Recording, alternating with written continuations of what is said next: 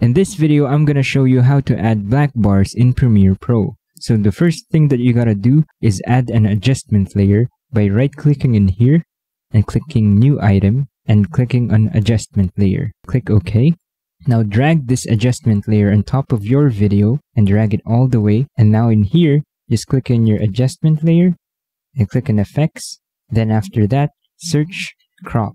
You'll see under transform and drag the crop to your adjustment layer. Now that it's in your adjustment layer, you will see on the right side the effect controls. If you don't see the effect controls, just click on this arrow and click on effect controls. And in here, just set the top and the bottom to around 10%. And that's about it. Thank you all for watching.